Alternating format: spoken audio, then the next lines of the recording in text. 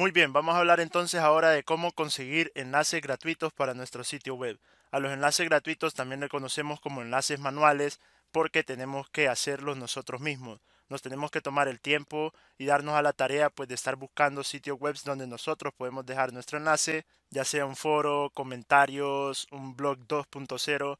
Existen muchos lugares donde podemos dejar nuestro enlace. Incluso los puedes hacer tú mismo. Te puedes crear un blog 2.0, una página de aterrizaje, como le quieras llamar,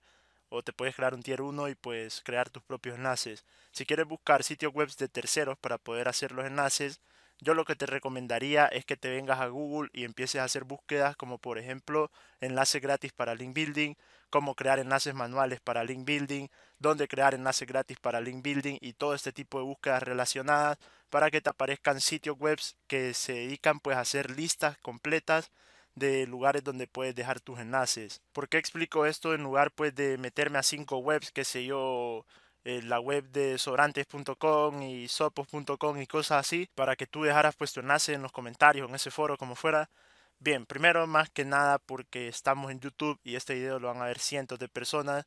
y todas esas personas pues salen a meterse a los mismos sitios web a tratar de dejar su enlace y se spamea. Entonces esto es lo que sucede bastante con los cursos pues que te enseñan de meterte en una web a dejar un enlace de que lo miran cientos o miles de personas y todos pues van a meter todas sus webs ahí. Incluso hay personas que no solo van a meter una web, sino que si tienen 14 webs van a meter las 14. Intentan meter los enlaces a saco, por decirlo así, dentro de ese sitio web y al final eso se spamea. Por eso yo te estoy sugiriendo de que tú aprendas a buscar en el mismo Google, por eso somos SEOs, no solamente tenemos que saber posicionar en Google, hay que saber también buscar para que tú pues puedas ver listas de enlaces. Por ejemplo, mira esta, tiene 1147 enlaces. Sería muy difícil que tú escogieras los mismos que yo voy a elegir. De todas estas listas pues tú empiezas a ver cuáles son las webs que te podrían favorecer en tu estrategia de link building. Cuando haces estas búsquedas pues escoges los resultados que tú consideres más confiables y empiezas a ver las listas de enlaces. Digamos aquí te empiezan a poner que tiene tanta autoridad de dominio, y te lo describen. Entonces tú aquí empiezas pues a buscar qué enlaces puedes hacer para poder ir mejorando tu estrategia de link building. Para serte sincero, existen muchos cursos de SEO, de link building, que en realidad lo que hacen es esto. Vienen, buscan en Google, se agarran por ejemplo esta lista de enlaces,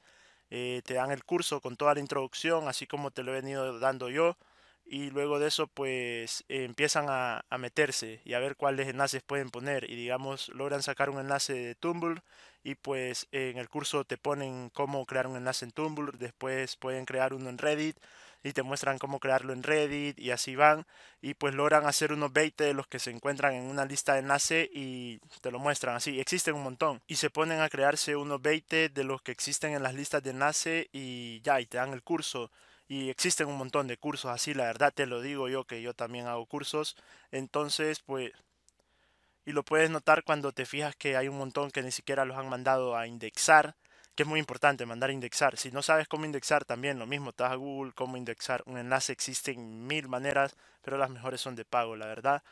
y eso, empieza a buscar pues listas de enlaces, empiezas a ver cuáles te pueden favorecer porque también te podrías encontrar con blogs que sean de tu temática y eso sería pues como encontrar oro, como cuando estuvieras en una mina y te encontraras con una pepita de oro, porque en muchas ocasiones sí se da esa suerte de que te encuentras webs que son de tu temática y que puedes sacar un enlace do follow y eso pues es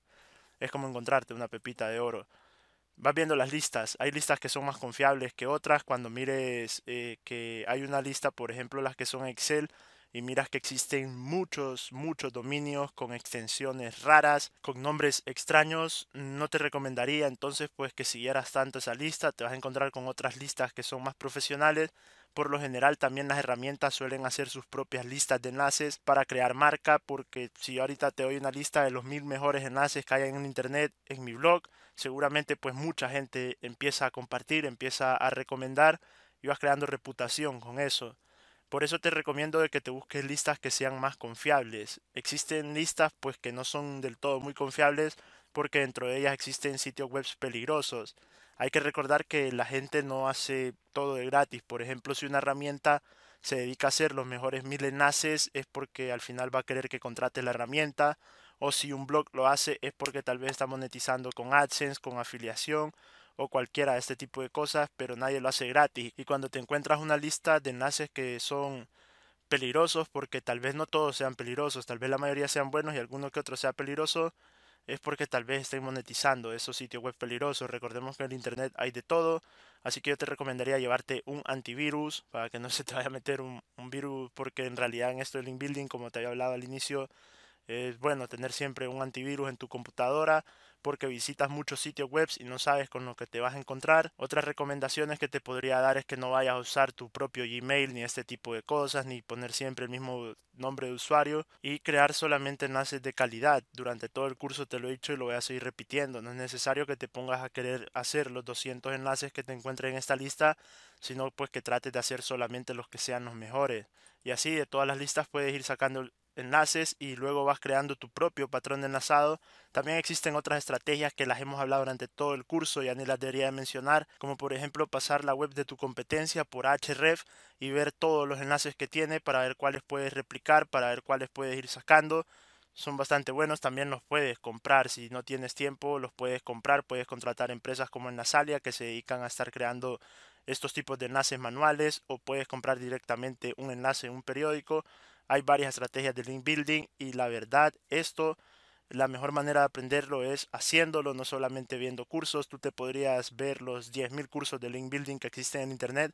pero si nunca lo haces, nunca lo empiezas a aprender porque lo bonito de esto es cuando empiezas a ver cómo tu web empieza a rankear, empieza a ponerse en las primeras posiciones o cuando sucede el efecto contrario y empiezas pues a bajar posiciones más bien de donde estabas y así vas comprendiendo lo importante que es el enlazado. Se ha vendido mucho de que el link building no importa, sobre todo pues porque uno de los CEOs más famosos españoles dice que en realidad hacer link building no importa y hacer link building sí importa. Como te he dicho anteriormente, si vas a hacer un micro nicho hablando sobre los ganchos para la ropa, creo que nadie ha creado una web hablando solamente de ganchos para la ropa. Ahí pues no vas a necesitar enlaces, pero si te vas a meter, por ejemplo, al sector de la salud o te vas a meter al sector de la tecnología o al de los vuelos baratos y este tipo de cosas vas a necesitar muchos enlaces y de muy buena calidad. Ya para concluir, pues esta es mi recomendación, que te vengas a Google y busques listas de enlaces y empieces a probar por ti mismo, empieces a meterte a sitios web, empieces a tratar de dejar tu blog en un enlace que te salga do follow.